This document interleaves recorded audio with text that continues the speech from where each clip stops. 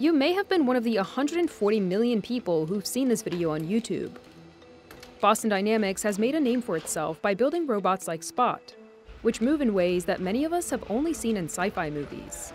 We look at ourselves as having mastered the ability to create robots with mobility, vision, and manipulation. And we think we can combine those in just almost an infinite number of ways at different applications.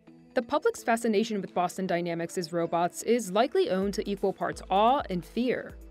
A 2017 episode of the popular dystopian Netflix show Black Mirror depicted a woman running from a pack of killer robot dogs. The show's creator later admitted in an interview with Entertainment Weekly that Boston Dynamics' videos were the inspiration. Most people think when they see Spot that that's cool. There is a small fraction of people who say it's creepy. We've been telling ourselves fictional stories about dystopian robots for a hundred years. I think it's people's desire to kind of explore that fear that makes them want to react so negatively to Spot. But while Boston Dynamics has sparked the imaginations of the general public with its viral videos, the company is now hoping to get the attention of paying customers. I expect that we will become a serial producer of novel robots with advanced capabilities. I think we'll build every three to five years. We're going to roll out a new robot uh, targeting a new industry. CNBC got a rare look at Boston Dynamics' office in Massachusetts, where the team showed off two of the robots they're working to commercialize Spot and stretch. The yellow robot that you see walking around is a mobility platform.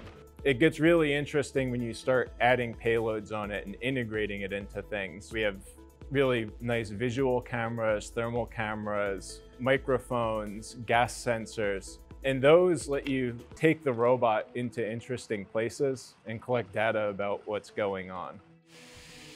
We see Stretch as ultimately a general purpose box moving machine that can be used anywhere in the warehouse.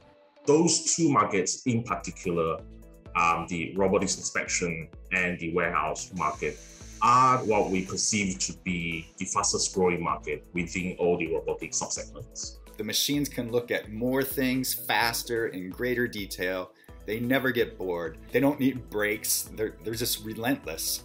With nearly 30 years of experience, Boston Dynamics has proven its ability to make robots that move in remarkable ways. Now the question is, can the company turn a profit?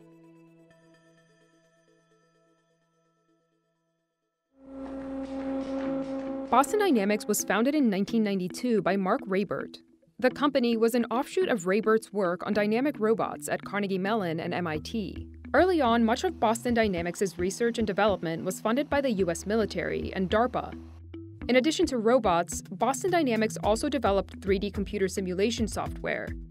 This robot, uh, LS3, was part of a project that we worked with uh, DARPA and the Marines. This was a proof of concept project to show that the robot could actually carry equipment in a useful way for a Marine squad. Some of Boston Dynamics' other early creations included Big Dog, which, like LS3, was meant to traverse rough terrain and help soldiers carry gear, and Cheetah, which, at its fastest, could reach speeds of 28.3 miles per hour.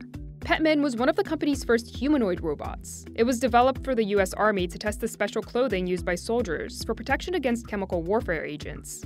We're very proud of our history uh, that involved DARPA and government funding for creating some of the fundamental technology.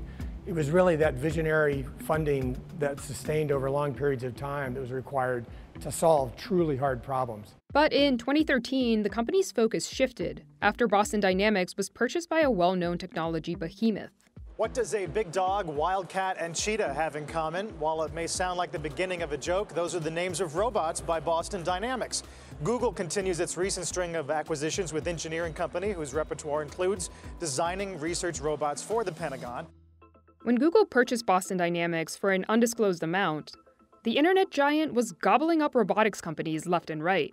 The New York Times first reported the acquisition, noting that it is the eighth robotics company Google has bought in just the last six months. There is speculation that Google wants to build a new class of robots that could perhaps do everything from warehouse work to package delivery. At that time, Google was a bit more ambitious, and they are trying to look for the sort of next big thing. And highly specialized robotics is sort of perceived as a big emerging area that the industry was sort of expecting or anticipating at that time. Google itself did not say much about the acquisition, other than that it would honor Boston Dynamics' existing military contracts, but was not interested in becoming a military contractor itself. I think there are some concerns around Google dabbling with uh, military contracts. They might hurt their public reputation. But without government contracts, Boston Dynamics would lose its revenue stream. Even existing contracts that the company had with the military did not always pan out. And R&D was expensive. Owning Boston Dynamics reportedly cost Google $50 million a year. Internal movement at the company also shook things up. When Google bought Boston Dynamics, its robotics effort was being run by Andy Rubin, who was well known at the company for leading the development of Android. But after Rubin left Google in 2014, Google's robotics division stalled. Then in 2015, Google, which by then was renamed to Alphabet, got a new CFO, Ruth Porat. Over the next few years, Porat went on a cost cutting spree, and Boston Dynamics was one of the casualties. That relationship didn't really last very long, mainly because the fruit of that relationship is not as big as what Google perceived it to be. Boston Dynamics again found itself with a new owner. SoftBank adding to its artificial intelligence portfolio by buying robot makers Boston Dynamics and Tokyo based Schaft. Once that company moved on to SoftBank, SoftBank tried to inject more of a commercial DNA into the startup itself. When SoftBank purchased Boston Dynamics in 2017 for a reported $165 million, the Japanese conglomerate already had a few robotics companies in its portfolio, as well as a consumer robot known as Pepper. The idea was for SoftBank was that it really wanted to become a large robotic supplier to the industry in general. Under SoftBank, Boston Dynamics did open up sales to its first commercial product, Spot, in June of 2020. Prior to that, the inspection robot had only been available to lease as part of the company's early adopter program. But like Google before it, SoftBank found that breaking into the robotics market was harder than it seemed.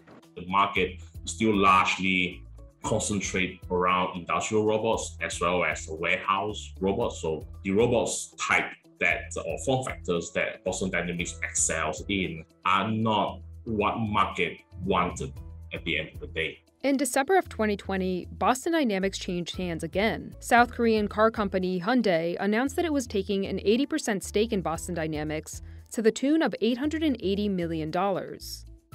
This year, tens of thousands of robots will be built and put to work out in the in the world making money. But in the next 10 years, millions of robots will be built and get put to work in the world. And in most of these markets, no matter how big they are, a small number of companies end up dominating a majority of the market share. And so I think Hyundai is positioning itself to be the leading robot manufacturer. Hyundai bought us for our mission. They're excited about our mission to launch novel robots that can help industry. And uh, ultimately, I think they see their own mission evolving beyond cars to uh, generalize mobility and see the things that we've been developing as ultimately complementing them. Hyundai and Boston Dynamics are still far from dominating the robotics market, but it's a market with a lot of potential. Revenue from mobile robots in the warehouse, manufacturing, and infrastructure spaces is expected to increase dramatically, from about 6.1 billion in 2020 to about 64.9 billion by 2030. Something like 800 million containers are shipped around the world each year. Many of those are full of boxes. There's probably trillions of boxes that are loaded and unloaded by hand uh, each year in the United States. It's a huge job. It's a mountain of material that has to get moved. Stretch is really power tools to help people move that material. Stretch is made up of a few different parts. The robot uses a mobile base to move around tight spaces and go up loading ramps. An arm, gripper, vision cameras, and sensors allow the robot to identify and handle a variety of different objects. We're starting with truck unloading, but we think truck loading, as well as what we call order building. So when you go through a warehouse and assemble a bunch of different boxes onto a pallet. That order building is a big job, and we're actually developing that at present. Similarly with Stretch, we're building in intelligence so that the robot can deal with unexpected conditions. If suddenly it knocks down a cascade of boxes, the robot can deal with that and pick them up and clean up its own mess. How do you feel about competitors? There's Amazon that has their own robotics for warehouses. There's a lot of automation uh, companies that are entering the logistics space. And of course, the logistics space has a huge variety of problems to solve. We're uniquely focused on mobile box moving, which almost nobody else is looking at. So we think we have a nice, safe entry into that market that we can own for a significant portion of time. Amazon, I think, is lighting terror in the hearts of all the warehouse owners across the world. So they have a very motivated buyer that wants to buy tech that's comparable to what Amazon is developing. Boston Dynamics says it expects Stretch to go on sale next year, though it would not provide a price point. Customers can also opt to purchase just the computer vision software that powers Stretch, which Boston Dynamics calls Pick. The company says it's working with a few early adopters to test the robot, but would not say who those partners are. Unlike Stretch, Spot has already hit the market.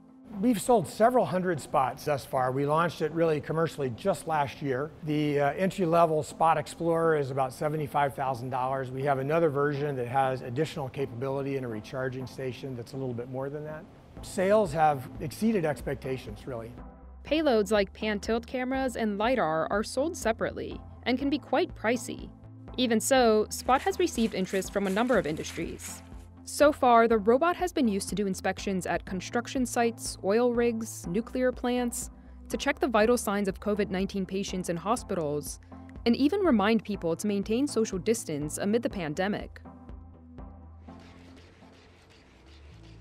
So I would take a substation like this and subdivide it into maybe four sections, and I would have the robot do a detailed inspection on each of those four sections. This is Dean Berlin, he is the lead technology analyst for National Grid, an electric and gas utility company that serves customers in Massachusetts, New York, and Rhode Island. For the past year and a half, Berlin and his team have been testing two spot robots by programming them to do inspections of National Grid's equipment. Berlin says the team also considered other robots for the job, but chose Spot for its mobility capabilities. Some of the advantages that we find for the Boston Dynamics robot is that because it's a four-legged walking terrestrial robot, it can actually transverse our substations fairly easily. The robot also can be equipped with a variety of different payloads, making it mission specific. So we're going to power on and undock the Enterprise robot. A typical inspection looks something like this. First, engineers program Spot so that the robot knows where to go and what gauges to pay attention to. The instructions for each mission are relayed to the robot using a QR code. The robot that National Grid is using is equipped with LiDAR to help it navigate, as well as visual and thermal cameras to take detailed photos and thermal images of the equipment in the substation. The robot will be focusing on switches and circuit breakers. It will also take zoomed in visual images of some of the gauges on the equipment to monitor the levels of those gauges. It can use this information to diagnose if there are hot spots on our assets that might indicate areas of concern or areas that we might need to attend to in upcoming maintenance. Prior to using SPOT, most inspections at National Grid substations were done by people. In some cases, operation of the substation would have been temporarily shut down, since it wouldn't have been safe for humans to do the inspections while the equipment was still on. National Grid has noticed savings in terms of time because the robot is able to perform these missions in parallel to a human performing other tasks. So in a sense, you get efficiency from having a human and the robot operating at the same time. Spot may even go to space. NASA has been sending teams of the robotic dogs into caves to see if they can one day be used to search for life on other planets. Caves' protection from cosmic rays and stable temperatures, NASA says, makes them the most likely of places to find life. My team's focus at uh, NASA is on developing next generation AI and autonomy algorithms for robotic systems. Our solution, which we call it Nebula, that analyzes the terrain, analyzes the environment, and risk. In a certain sense, you can look at Nebula as a robot brain that we integrate with robot body that could be a wheeled rover, a legged platform, or even a flying drone. In the case of exploring caves, Agha says his team chose Spot for several reasons. You often come across narrow constrictions, narrow passages that you really want to be able to traverse with a system that is not large and bulky.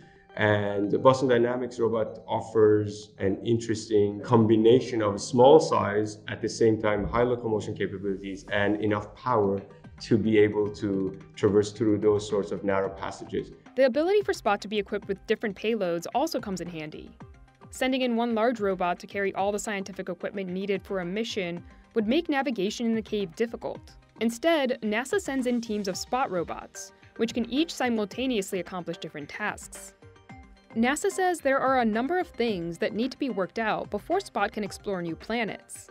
But the potential opportunities have scientists excited. We have a region on Mars called Tharsis region. There are a lot of interesting caves that if we can explore one day, we will learn a tremendous amount of knowledge and, and we can get a lot of science from it.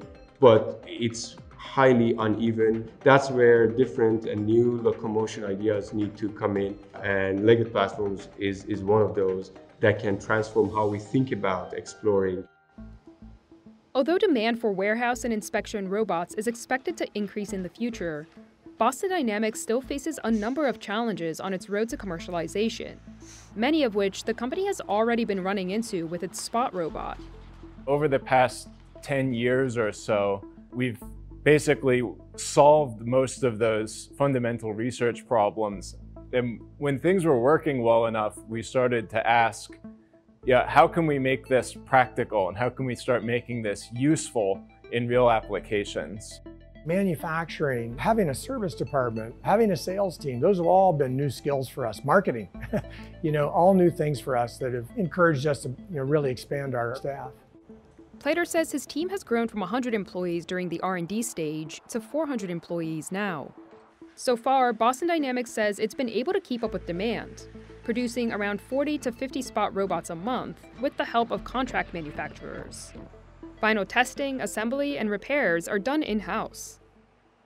But in order to compete in the larger market and have a shot at profitability, experts say Boston Dynamics needs to seriously ramp up production. Boston Dynamics' biggest challenge to commercialization today is just cost, pure and simple. The hardware itself is the other piece. The hardware itself for something like a spot is today probably in the $20,000 ballpark. They've got a great robot, hugely technically capable right now, but that's far too expensive to to really sell at huge scale today.